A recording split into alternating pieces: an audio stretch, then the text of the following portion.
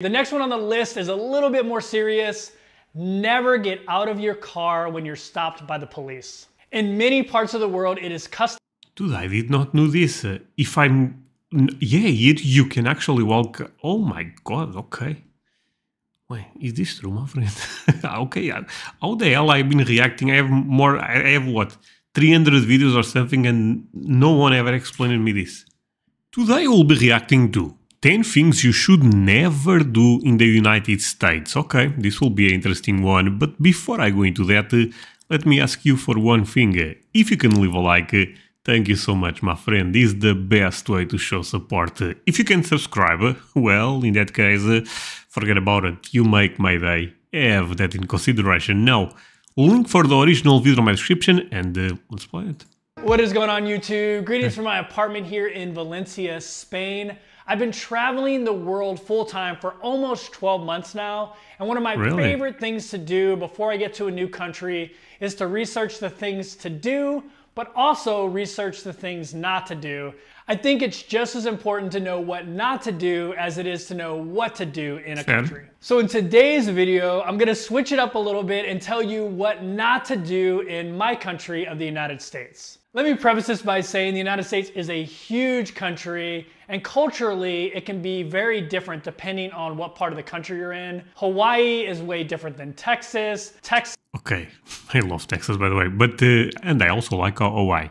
Let me say one thing. Uh, East Point uh, right there makes a lot of sense to me because when I see this type of videos, the things you should never do in America uh, is a bit relative, right? Because uh, like he is explaining, so I'm actually repeating him, but uh, yeah, Texas is so different than California. California is so different than Florida. So, you know what I mean? Um, but maybe there is some common ground. Texas is way different than California. California is way different than New York, and so on and so on. Hmm. But there are some things that apply basically throughout the country. So, okay. those are the things that I'm going to talk about today. Okay, number one, Never visit just New York or Disney World. Anytime someone tells me that. Okay, this is great advice because before starting this channel, I always wanted to visit America eventually. But of course, in my mind was I go to New York, maybe to, to, to Disneyland, something like basically the most popular uh, places. Right now, I don't have this idea at all. I actually don't even want to visit the mainstream places anymore. I want to visit the South. I want to visit Texas. So this is something that ended up changing uh, in, in me. One, never visit just New York or Disney World. Anytime someone tells me they've been to the United States, it's usually one of two places. They've either been to New York or they've been to Disney World or Disneyland. The United is States true. is so much more than that. It's so big and diverse. You have and beautiful. a zillion lakes in a place like Minnesota. You have the Rocky Mountains in Colorado. You have a Patagonia type place in Montana. You have amazing tropical beaches in a place like wow. Hawaii. You have awesome Tex-Mex food down in Texas. And you have the most amazing forests and wildlife in a place like Washington State. I know you want to see New York and Disney World, and I definitely think you should, but if you're going to plan a trip... Uh, Disney World, I may skip that, being honest with you. New York, I would love to visit, specific because the Statue of Liberty that you are seeing on the screen. Uh, for me, that, that statue almost gets me emotional because it's the first thing I think about America. And uh, I don't know, I, I, find it such such a beautiful uh, statue that I have to visit that one day. Otherwise, I would not feel complete uh, going to, to America. But uh, I, would actually not spend a lot of time in New York. I feel like, uh, because I think America has so much more to, to offer, but I still like New York. Trip to the United States at another location and go see something different, and it'll show you how really diverse and beautiful this country is outside of those two popular destinations. For okay, sure. the next one on the list is a little bit more serious. Never get out of your car when you're stopped by the police. In many parts of the world, it is custom. Dude, I did not know this. Uh, if I'm. Yeah, you, you can actually walk. Oh my god, okay. Wait, is this true, my friend? okay, how the hell I've been reacting? I have more. I have what? 300 videos or something, and no one ever explained me this. Because this can actually happen. Never get out of your car when you're stopped by the police. In many parts of the world, it is customary to get out of your car when the police stop you. That is not the case in the United States, and you definitely don't want to do this. Sometimes our police officers can be a little bit on edge, and getting out of the car is the wrong thing to do. So make sure you don't do that in the United States. Just stay in your car and wait for the police officer to approach your window. The third thing on the list is never forget to tip. This is something that comes up a lot in my other never do this videos, and it's usually the other side of it because in a lot of countries, it's not customary to tip. Servers in other countries don't rely on tips for their income. They're paid a higher wage, so it's not a big deal. But in the United States, servers rely on their tips to pay the bills. Norm this one, my friends, I think I'm well prepared. I know I have to give 20% all the time, right? You guys tell me, Andre, 20% to 30%. I'm poor. I'm going with the 20%, by the way. But uh, yeah, this one I'm good.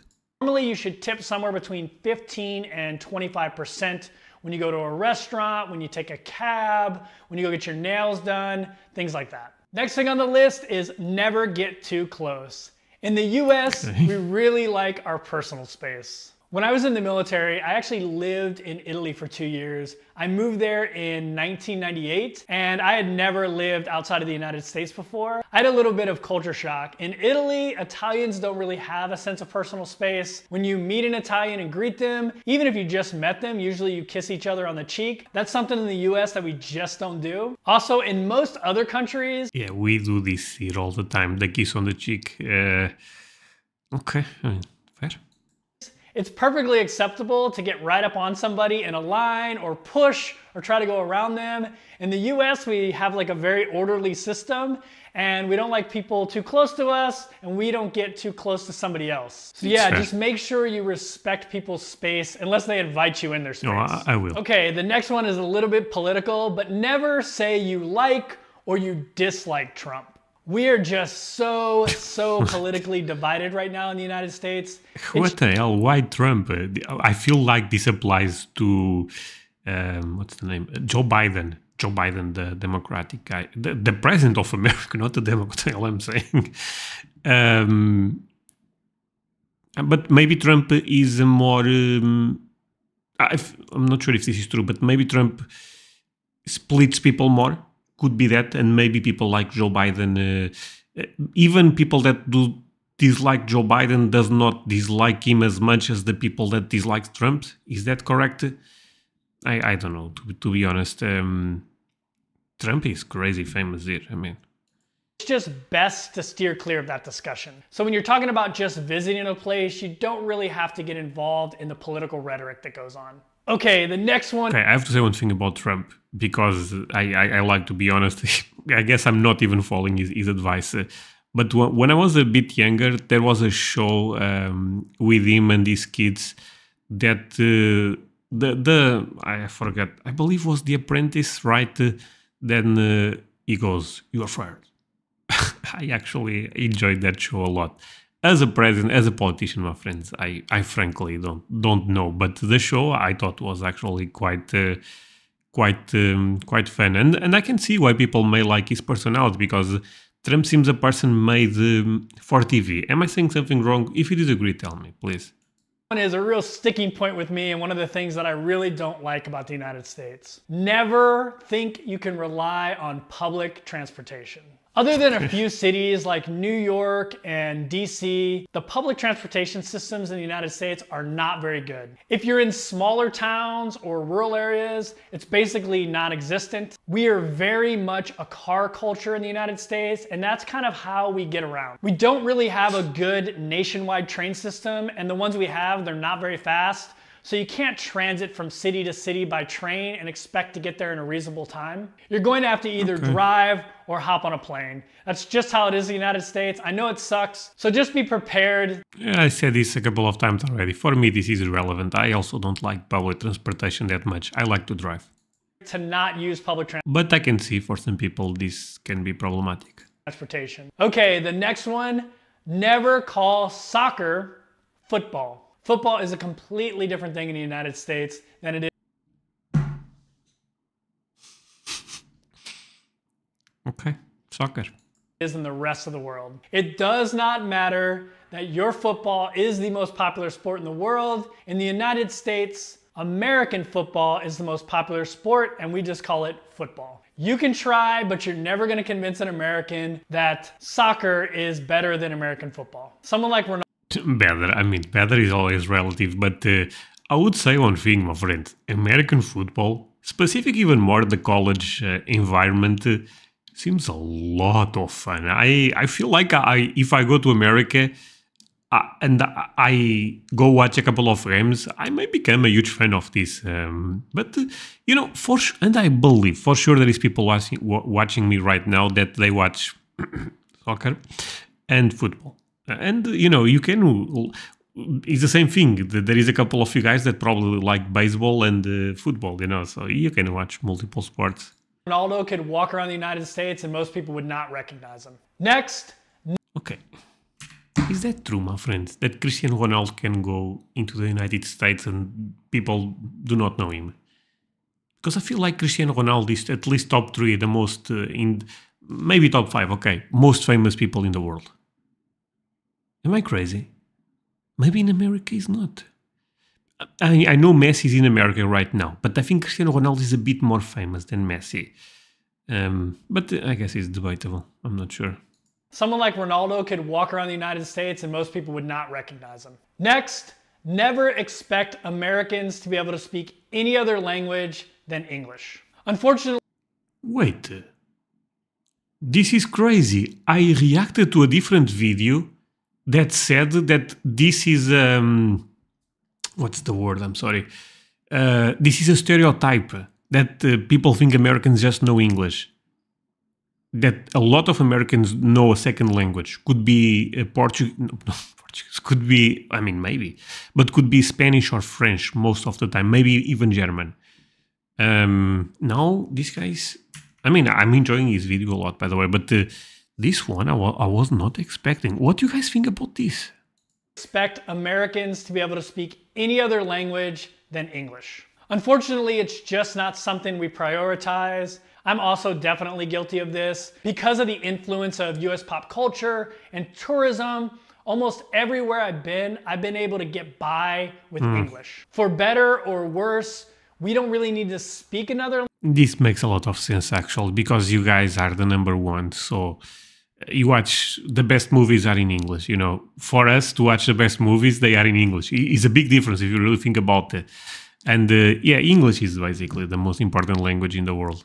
Language. So we haven't made it a priority in the United States. I know this is a little point. bit of a generalization, and I have some friends that are bilingual, but for the most part, Americans tend to speak only English. Number nine, never expect our pharmacies to just sell pharmaceutical stuff. In most That's crazy.